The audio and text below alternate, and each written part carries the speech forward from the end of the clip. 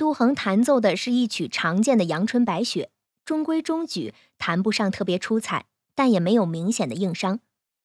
在尹都衡弹奏的整个过程中，蓝忘机一直在远远地看着魏无羡，他很担心魏无羡会喝太多，便悄悄替他数着：一杯、两杯、三杯。还好，喝了三杯，魏无羡就没有再喝了。但是蓝忘机不知道魏无羡之前已经喝了多少。毕竟他陪着聂怀桑敬酒的那段时间，没法一直看着魏无羡。萧孤云同样是在看着魏无羡，他清楚的知道今日魏无羡一共喝了六杯，他觉得魏无羡喝的略多了些。清河的刘伶醉他是知道的，后劲儿很足，他有些担心魏无羡会醉，也不知道他此行是否带了解酒药，若是没有带，要不要把自己随身带的给他呢？魏无羡知道萧孤云一直在看他，就坐在正对面，怎会感觉不到？但他不知道是该装作完全不知道，还是应该大大方方的跟萧孤云隔空打个招呼，又或者其实应该端起酒杯走过去给人家敬一杯酒。毕竟收了人家送的解酒药和狼牙，当面道个谢总是应该的。今日尹度衡做的太明显了。魏无羡倒不是吃醋，这有什么好吃醋的？那姑娘确实算得上是个漂亮姑娘，不过蓝湛不会对她有任何兴趣。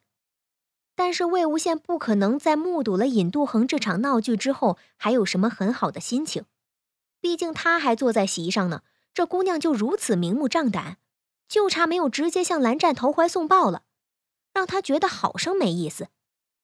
若是就他和蓝湛两个人在这里也就罢了，偏偏江澄和金陵也在场，他有点担心。若江澄知道了底细，会因为替他鸣不平而迁怒于蓝湛，而金陵毕竟还小，让他看到这些上不了台面的事儿，又有什么好处呢？怪难堪的。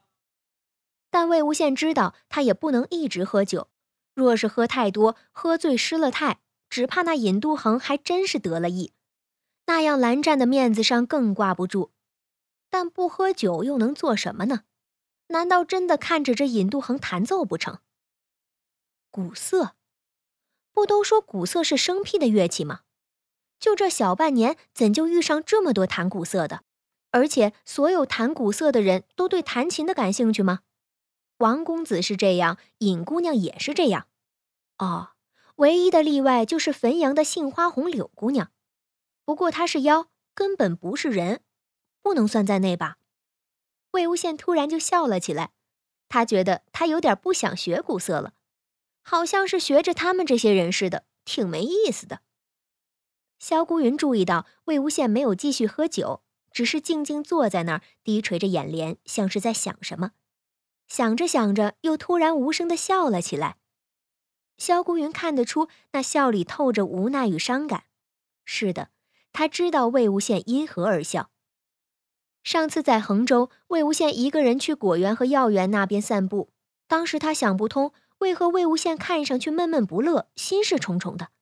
后来他才听说萧孤烟受人所托给蓝忘机送美人图的事，他恍然大悟，也勃然大怒，跟萧孤烟大吵了一架。他以前从来没有跟萧孤烟起过争执，不是因为他大度，而是因为没有什么值得他去争的东西。但那天他真的气极了，因为他心疼。他看过中原仙门史，也知道魏无羡现在有一颗传奇的金丹。他知道魏无羡既能运行灵气，也能驾驭怨气，或许是这世上最强的人。无论是能力还是内心，魏无羡或许都是当今世上最强大的。按说他萧孤云论天赋、论修为都远不及魏无羡，没什么资格，更没什么资本去心疼魏无羡这样一位强者。但是他就是心疼。或许是因为魏无羡在剑道大会上给他的那个温暖的笑容，或许是因为他怕狗而爬到树上那副可爱的模样，又或者是因为他聊到喝酒时那眉开眼笑的样子。总之，萧孤云就是在魏无羡的强者外壳下看到了他柔软的一面。一个人怎会同时拥有最强大的力量和最柔软的内心？一个人为什么能在经历了所有那些最可怕的事情之后，还有这样温暖而又阳光的笑容？这样一个人怎能被那些人用世俗所亵渎？那些人张罗着要给蓝忘机纳妾，他们要置魏无羡于何地？萧孤云知道蓝忘机不会接受，蓝忘机很爱魏无羡，萧孤云绝对看得出来。但这种事情不是蓝忘机不接受，魏无羡就不委屈的。所以萧孤云还是心疼，心疼到不管不顾的跟萧孤烟大吵了一架，然后直奔北漠去寻霍斗取狼牙。他就是想为魏无羡做点什么。虽然他知道蓝忘机一定会不高兴，他当时甚至有些任性的想，就是应该让蓝忘机不高兴，就好像这样能替魏无羡出口气一样。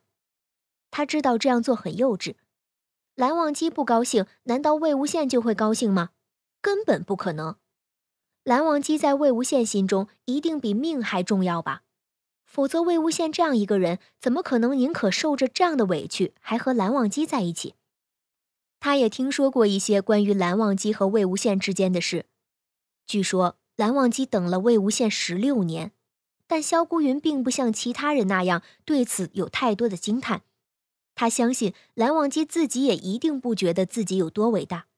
爱上魏无羡那样一个人，没法再对旁人动心了吧？不在心里守着他，等着他，又能有什么别的办法呢？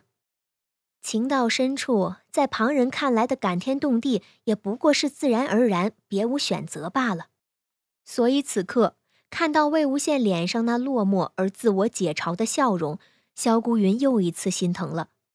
他知道这并不是蓝忘机的错，蓝忘机刚才回绝尹度衡够决绝，够彻底，可萧孤云还是生气。蓝忘机，你都拥有魏无羡了，你怎么还能让他受这样的委屈？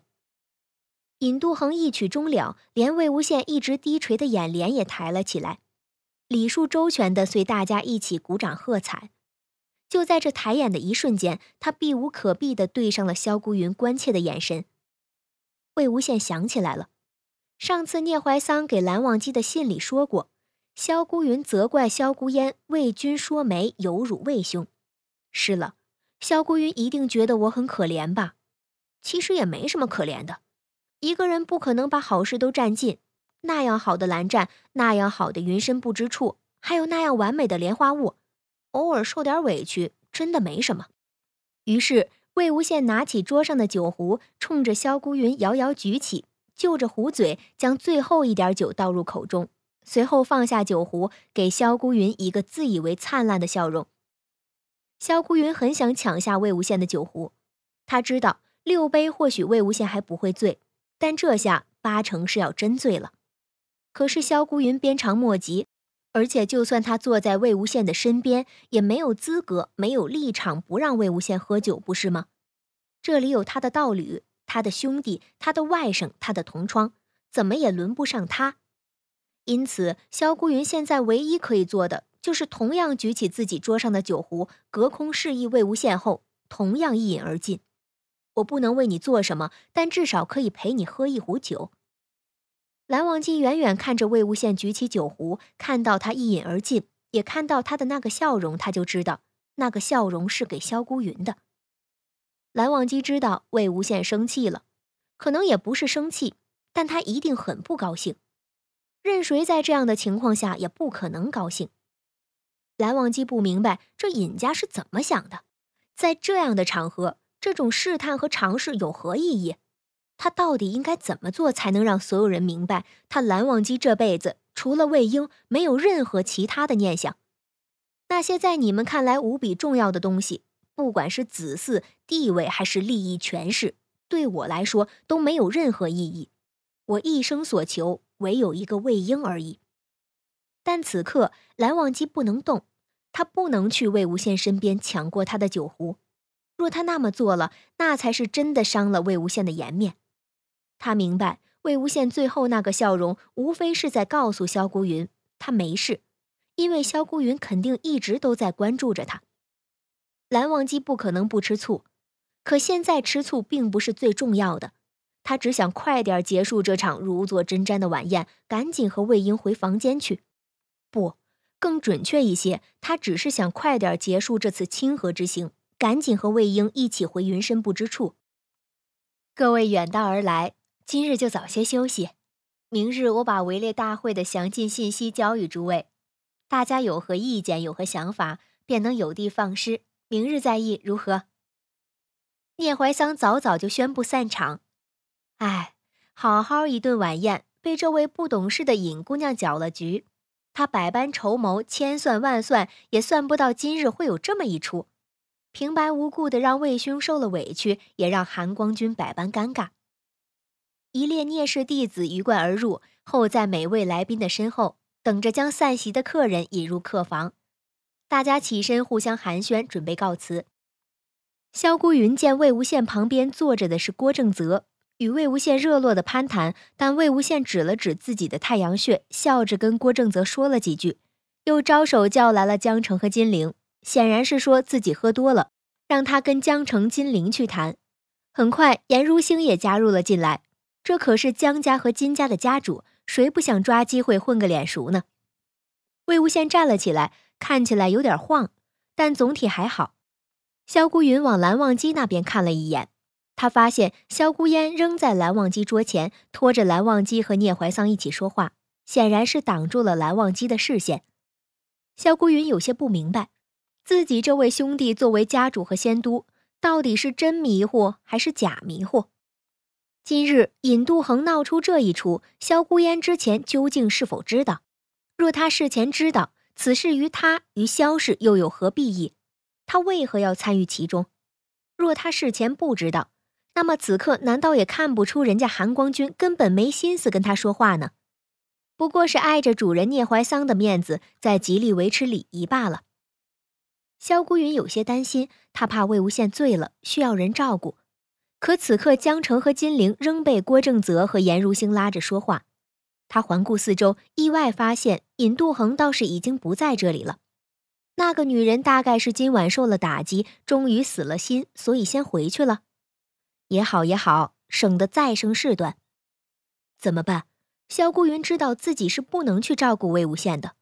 他若那样做，与尹度恒有何异？可他真的不放心魏无羡一个人回去。眼看魏无羡拒绝了站在他身后的聂氏弟子，已经一个人走出正厅了。萧孤云站了起来，几步走到蓝忘机身边，拱手行礼道：“宗主，我喝多了，就先回去了。聂宗主，韩光君，告辞。”好。萧孤烟此刻哪里顾得上萧孤云，只觉得他多事。聂宗主，你们清河的酒好生厉害呀！我刚看到夷陵君出去了，像是也醉得不轻呢。韩光君，你不去看一看吗？萧孤云到底是喝了不少酒，他有些气愤。他很想质问蓝忘机：礼仪就那么重要吗？魏无羡受了一晚上的委屈，你还有心情在这里跟萧孤烟废话？他不是你等了十六年才等回来的吗？你就不担心他吗？你知不知道我有多羡慕你？你怎可以这样漠视他？蓝忘机腾地站起来，在萧孤烟挡住他视线之前，他看到魏婴在同郭正泽说话，并且招手把江澄和金陵都叫了过去。他以为魏婴一定还和江澄、金陵在一起。他之所以耐着性子在这里跟萧孤烟说话，一方面是为了顾全聂怀桑这个主人的情面，另一方面，他想着等众人都散去之后，跟魏婴两个单独回去，就像他们刚到清河的那一晚上。魏婴就是等大家都走了之后背他回去的。叶宗主、萧宗主，我先告辞了。萧公子，多谢。蓝忘机这才明白萧孤云其实是来叫他的，但此刻他已经顾不上别的，甚至来不及等到聂怀桑和萧孤烟回话，就匆匆追了出去。蓝忘机一路走得很快很急，却一直没有见到魏无羡的身影。推开客房的院子。屋里并没有亮灯，难道他没有回来吗？或者回来后没有点灯？蓝忘机还是进了屋，屋里确实没人。那么魏婴去了哪里呢？喝醉了迷路了吗？蓝忘机又沿着来时的路倒回去找，还是没有。蓝忘机开始心慌，他告诫自己没事，就算是醉了，就算是迷路了，总不至于有危险，没必要心慌的。可是没有用，他就是心慌。魏婴一定难过极了吧？他是不是以为我忙工作就不管他了？魏婴，真的不是，我不知道你一个人跑出去了，我是想等到最后抱你回去的。蓝忘机自责无以复加，他甚至开始毫无道理的在心里埋怨萧顾云：“你明明看到他醉了，看到他一个人出去，你要么拦住他，要么跟着他呀。你不是喜欢他吗？他的安全难道不是更重要吗？你装什么君子？你应该先护着他呀。”蓝忘机又找了一圈，还是没有。他开始怀疑魏无羡会不会一个人御剑走了，回云深不知处了吗？又或者？他生我的气，不想回云深不知处，那就是莲花坞。